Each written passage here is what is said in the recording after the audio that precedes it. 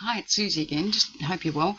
Just want to talk about um, second lesson on cryptocurrencies. We have covered quite a few things in other channels. If you look at new clients, and if you look at uh, just general information, but I will put this in the um, client education because I think it's pretty important. Um, crypto markets are like no other markets I've ever seen before. They're certainly like no other traditional markets that I've ever seen.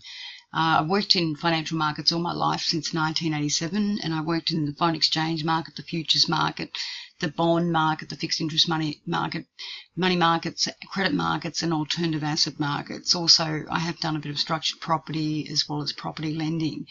And I guess what I will say is the cryptocurrency market is very, very different indeed. The other markets that I've worked in were all centralized exchanges, or they were pretty much over the counter uh, markets, and they were all highly regulated. Highly regulated by the authorities, whether it be the Reserve Bank of Australia, whether it be ASIC, uh, the Australian Security Institution Commission, or whether it be literally the compliance that was set down by the banks themselves, the banks that I was working for, or the fund manager, or the clients. Um, and and then also there'd be financial advisory type regulation as well as general advice as well as specific advice, which was set down by the stock exchange rulings as well. So we were tied into very heavy regulation when we talked to clients. Um, and also when money came from the client. So there was rulings such as know your client rule. You always had to know your client very well to identify and assess their risk return trade off and their investment philosophy, whether the product was the right product for that client in terms of their own risk profile, but in terms of, say, for example, their age, there's no point putting them in a product that had a 20 year duration if they were, they were basically 80, things like that. But also to identify the client properly in terms of the 100 point check which meant they needed a driver's license, a passport, and a Medicare card, but also to identify the client well enough that you knew where the money was coming from. So essentially, you had to actually know where the money was coming from.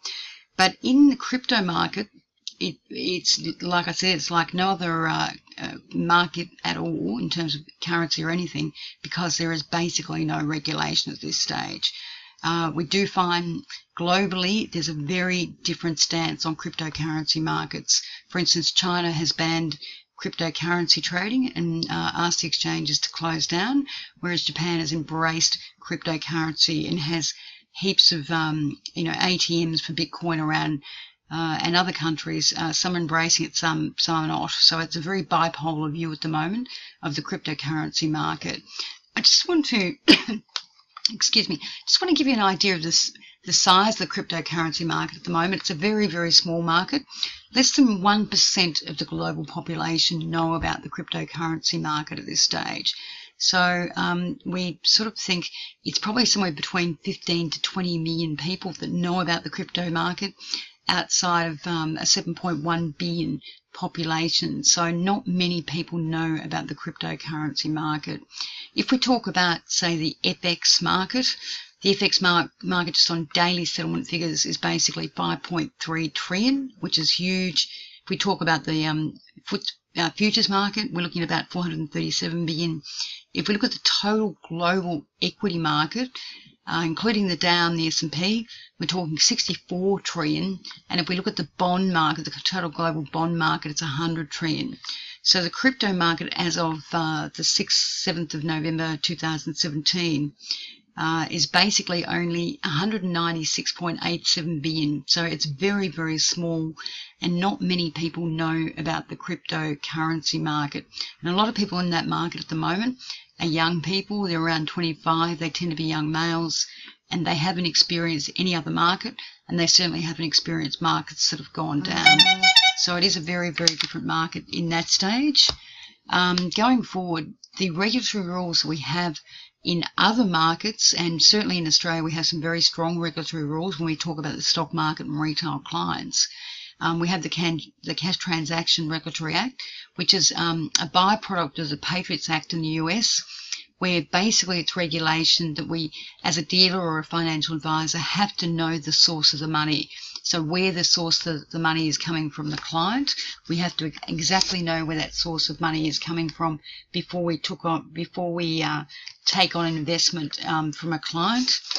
Um, very important, and um, also within that act, if there's any sort of suspicion in terms of um, you know that the money's come from you know um, uh, uh, you know sort of it's money that might have come from terrorism or it might have come from prostitution or it might have come from suspicious uh, you know fraudulent activities we have to report that as a stockbroker you have to report that to the uh, cash transactions regulatory body and also, um, if there's a cash transaction over $10,000, the banks have to report that. Even if there's a cash transaction between, you know, between 2,000 or 1,000, but it's it's regular and it seems suspicious, then you as a dealer, as an equity dealer, you have to report that, or as a financial advisor dealer. So pretty much the penalties are severe in terms of any other market, whether be FX whether it be equity markets, bond markets. Also, if there was insider trading, there's severe penalties. Also, um, in terms of debt prospectuses and equity prospectuses, which in the bond market and the equity market for any business to get funded by debt or equity or property, the the prospectuses have to be true and no falsity in those in those documents. They're basically audited by auditors and whoever writes those prospectuses, whether it be responsible agents of the business or the company secretary or the like who sign them off or directors, they are personally liable for those prospectuses. So, uh, in terms of financial statements or any sort of projections or any sort of statements, in the cryptocurrency market, we don't see any of that. There are no rules, no regulations. So, effectively, um, someone that's looking to get financing out of the cryptocurrency market can basically say anything, can effectively, um, you know, make wild claims about what they're going to do in the future. It's all this and but and if. Um, they don't have any due care or any responsibility to the investor or the trader or the speculator they, and they're not liable for anything. So there's no fines, there's no corporate watchdog like ASIC, Australian Securities Investment uh, Committee um, and effectively the director or the representation representation of the company can pretty much say anything because there is no regulation or compliance. Also, it's important in the cryptocurrency market when a, uh, a white paper is done, which is obviously a, a draft of what they intend to do with the initial coin offering, which is their funding, uh, you know, what they intend to do with the money, the white paper is not audited. So what happens when startups come to the cryptocurrency market? They look to do an initial coin offering, no different to what uh, you would do in the equity market, and you'd call it an initial public offering. The difference is the white paper that comes to the market, which outlines uh, what they want to do, uh, which outlines the startup and why they need the money in terms of the technology, um, will often, you know, be flimsily in the way it's outlined, flimsily in the way it talks about business. There's no stats or anything, or no financials, and basically it's all on hearsay. Hearsay. So effectively, the directors or the responsible bearers bear no responsibility or, uh, for false claims or anything. And sometimes there is no white paper outlining the details of the startup business and the technology that's going to be used. Um, and there may not even be any program going forward. There may not be any key performance indicators. There may be no comment on how they're going to spend the money. So the cryptocurrency market, it is new. Yes, Bitcoin came in 2009, but the reality is, uh, literally, it sounds like to me, from what I can see, anyone can come to this market, do an ICO. There doesn't seem to be any regulation. Uh, if they tell the investor lies, uh, if they tell the investor lies in terms of the, the white paper, or if they don't, there doesn't seem to be any due care or any sort of diligence, and it seems to me that they can just literally ask for the money and walk away because there is no protection. So I think uh, investors and would-be traders need to be really aware of that. It also seems to me that in the cryptocurrency market, investors are coming to this market because it's an easier way to get funding than the traditional banks.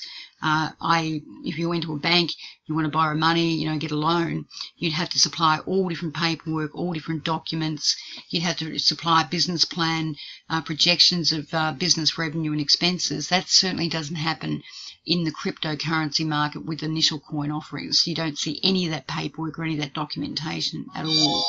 So essentially, um, it just really means that people that do come to the ICO market, the cryptocurrency market, uh, it looks like they get things passed in this market because nothing is, is audited, nothing, they don't need any, uh, near as much documentation. And it looks like um, that they get knocked back in the banks on traditional uh, lending, uh, and they'd certainly get knocked back in the equity market and the debt market, but but certainly in the um, the initial coin offering, the crypto market, they can get funding at 40 million US quite easily, and no one asks any questions, which I find a very strange market indeed. Uh, so just uh, going forward, it really is, you know, people are tending to invest in startup risk. And again, how do you price startup risk? The risk of startup is, uh, you know, very, very hard to ascertain, but also the pricing of startup risk. How do you, how do you price up starting risk? So, um, in terms of crypto land, there really is no protection of the investor's money, and there really is no protection at all for, for anything. So, uh, a crypto uh, currency could the initial coin offering could be a scam or it may not be a scam. So it really is buyer beware. Honestly you really need to be careful what you're buying and really know what you're buying because uh, as an investor or as a trader you don't have a leg to stand on if if this thing falls over. Um, also what what happens also in cryptocurrency land is when uh, uh, a, a company a startup company gets funding often there is no separate place where they put that money. So in the debt market or the equity market, if there was an IPO or there was funding, that money would get put into a custodian account or some different account where there'd be a very strong uh, paper outlining exactly how they were going to spend the money and the milestones and exactly the plans the project and different timelines. So there's nothing in these uh, crypto papers, the ICO papers, to tell the investor generally how much they're going to spend on what, their timeline, whatever. Some don't even have a timeline. Some don't even have pro, you know, a timeline for their programs or their milestones. So again, you really need to be careful as a, as a buyer of any of these cryptos. Um, governments, as I said before, ha- having a lot of trouble um, understanding just the technology of crypto technology, but also cryptocurrencies. Uh, because the technology is decentralized, generally uses blockchain, it's peer to peer, it avoids governments and banks and everything, and some of the cryptocurrencies private. A lot of governments just don't know how to deal with cryptocurrencies. Some think they're a, a commodity, some think they're a currency. Um, because they are decentralized, they just don't know how to deal with uh, basically legislating for the currency, uh, for the cryptocurrency, and the Australian government, for example, it has gone to Parliament and they just don't know how to deal with it. So we could see, you know, some time before there's some sort of legislation on this particular market, which means, uh, you know, until then, it's a buyer beware market because honestly, whatever can be said in those initial coin offering uh, white papers, if there is one, they can literally say anything. So uh, yeah, again, you've just got to be aware of that. Uh, also, um, certainly investors are drawn to the cryptocurrency market because the gains that have been seen in this market are gains that, that uh, have never been seen in any other markets before. Now, as I said, I've worked in markets for 30 years, since 87. And even in the best years in the stock market and the debt market, it's rare that you'd get a return of over 20% per annum. But if you've been invested in Bitcoin since 2009, uh, Bitcoin generated something like a return of 46,000% return. So even if you'd had a handful of Bitcoin, you'd be literally a multi-millionaire now. So the returns have been absolutely phenomenal, and they've certainly been absolutely phenomenal on some of the altcoins, which are the other coins apart from Bitcoin in the cryptocurrency market. So just to give you an idea, there's 1,265 coins and tokens in the cryptocurrency market. Uh, the majority of them are startup risks, 95% at least. And as, as we know, 95% of businesses fail for, for the following reasons, uh, which I'll outline. A lot of these startups also are using Ethereum technology, which does have, it's not the best technology. You've got Ripple out there that's got even better technology. They've got capability, they, they've got scalability, Ripple has, and they can process a thousand transactions or 2,000 per seconds. A lot of these startups are using Ethereum's technology, which has problems with capacity and storage and can only manage 15 transactions per second, even in good times. So the problem is they have to rely on miners to basically validate transactions and process them into the block and then into the blockchain. And all the history of the transactions needs to be downloaded on the nodes. And when things get busy, these transactions queue up and they're actually delayed. And what we find is a lot of initial coin offerings that come to the market, like financial market uh, ICOs, where they're saying they're going to build uh, financial market startup, set up business on a blockchain technology uh, it's it's not really relevant for financial markets in, in the sense that Ethereum technology is not really suitable for the processing speed that's required in financial markets. They generally should be using Ripple's processing speed. So what I meant before is when you do find that some of the businesses are trying to get the ICO money, so they're trying to fit their business model to the technology. In this sense, the technology doesn't fit the business. Um, they should be using Ripple technology and not Ethereum technology for financial markets. So again, you know, I would say, you know, buyer beware. When you do look at um, the reason why startup uh, companies fail, and you're basically buying startup companies in ICOs, uh, they either run out of cash, they basically the market doesn't need it, you know, it's something that's not needed. Um, the right team, um, they get out competed, pricing's an issue, poor product, again, poor business model, poor marketing, they ignore customers, lose focus, all those different things. Um, so what I'm, I'm a bit of a skeptic. What I am finding with a lot of the startups that come into the ICO market here, the initial coin offering market, uh, a lot of them are just coming for the money and and running, and um, the investor has no uh, not a leg to stand on because this money is not even being put in into a custody account, which is a real concern. So I guess I just want to highlight those risks. Uh, if you do invest in the cryptocurrency market, there is no protection for you as an investor, and even exchanges have been known to go down. Um, of the cryptocurrency market at the moment, there's 166 exchanges, and one exchange did go down in 2014, Mt. Gox, um, and that was because some hackers got into the exchange and stole 400 million at the time of Bitcoin, and it made the exchange fall over. So the exchanges aren't regulated either. So it is really, really important to, if you do buy any coins, to buy the right ones or the right tokens. Make sure, you know, it's very difficult sometimes, you know, to know if it's a scam, but you've really got to do your due diligence, absolutely. Um, and that's why you pay for a service like mine, which, you know, I basically teach people what to look for and, and, and what sort of things to do in terms of due diligence. But when you do uh, obviously buy something, it's important to have a second key being an authenticator for the trading platform. And you can get that it's a second uh, key, which is basically you put in your email, your password, and then there's a second uh, key which you put in num- num- uh, uh, numbers, and that will actually get you into the platform. And then also, it's really important to choose a complicated password with numbers, capitals, and unusual letters like hash and at, and the explanation uh, symbol. But also, there's also two keys. You get a public key and a private key. The public key is like your account number. The private key is like your PIN number. So you never give your PIN number to anyone. Really important in terms of crypto markets to back up your cryptocurrency holdings on a Ledger Nano S.